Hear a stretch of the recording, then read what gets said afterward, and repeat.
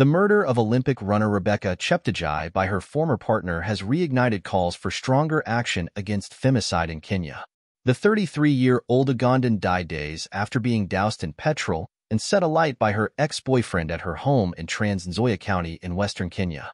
This is not an isolated incident. Kenya has one of the highest rates of violence against women in Africa.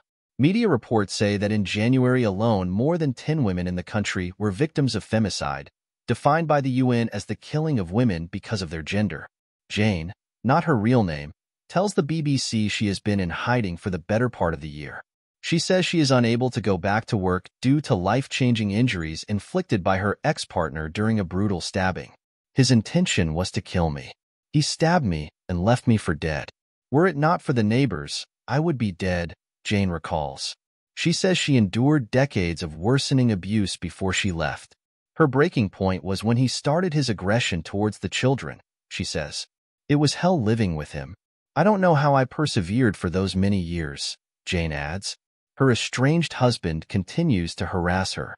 I live in fear. He says he wants to finish me off. I can't sleep at night. I'm now on medication to help with my mental health. I'm not the perpetrator, but I'm living like I'm in jail. A 2018 World Health Organization, WHO, report suggested that 38% of women in Kenya aged between 15 and 49 had experienced violence from an intimate partner. Groups that offer support to survivors of gender-based violence say there has been a year-on-year increase in the number of cases. On average, we receive up to 50 calls and sometimes 20 walk-ins in a day. Njeri Migwi tells the BBC. She is the head of Usikimye, Swahili for Don't Be Silent. In 2021, then President Uhuru Kenyatta declared gender-based violence a national crisis. A year later, a government report found 41% of married women had experienced physical violence.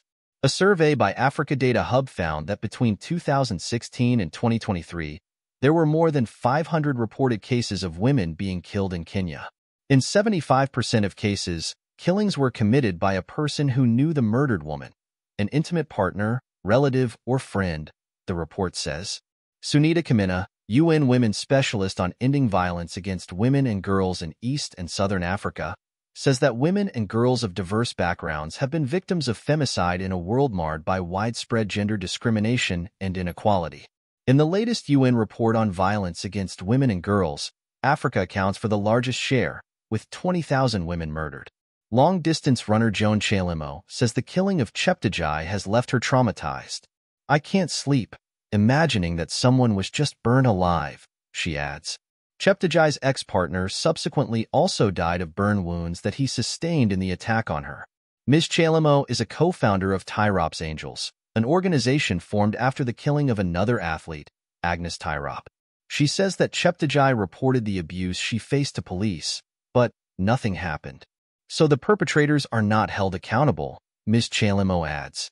Police have denied claims that Cheptegei reported her life was in danger.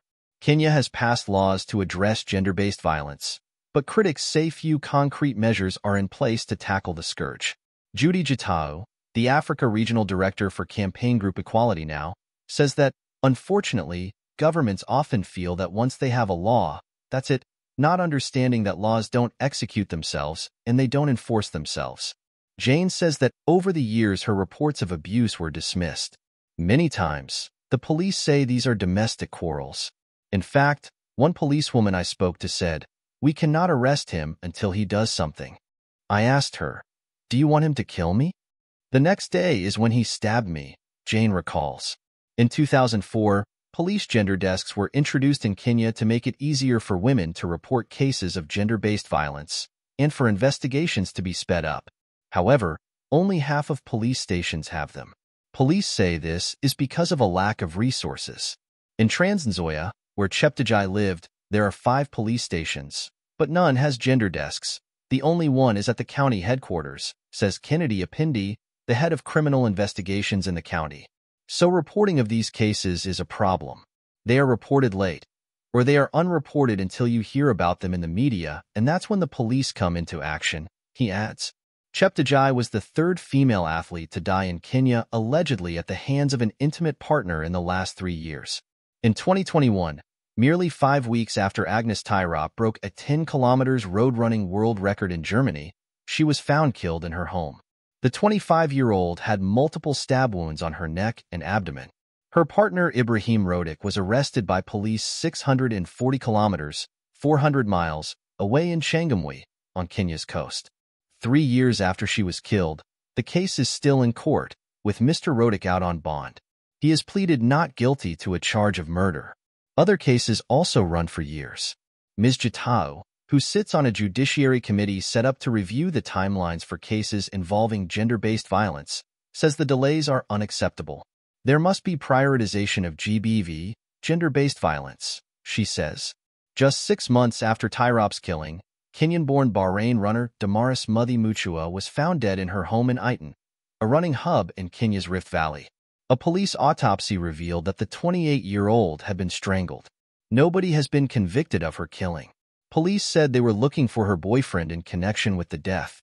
Just like Cheptegei, both athletes allegedly reported quarrels over money and property with their partners before meeting their deaths.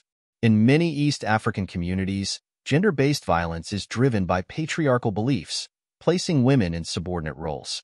Their independence is limited, and violence is normalized as a form of control. Ms. Gitau is calling for more safe houses for survivors. Deep down our attitudes, the norms that we hold as a country, still view women in a certain light, she says. Expressing a similar view, Ms. Chelimo says the substantial amount of money that female athletes make, or stand to earn, leaves them vulnerable. They go against traditional gender norms. Female athletes are now becoming more independent, financially independent, and the other gender is really upset about it, Ms. Chelimo adds. The government says it is running sensitization programs while reviewing legislation to tackle gender-based violence. We don't want this to happen to any other woman, whether an athlete or from the village or a young girl. We need to make sure that the gender police officers are doing their work, Rachel Kamwaru from Kenya's State Gender Department tells the BBC. Jane says her life rests in the government's hands, and she hopes that it will do more to protect women like her from their ex-partners. As long as he is free, I'll never have peace, she says.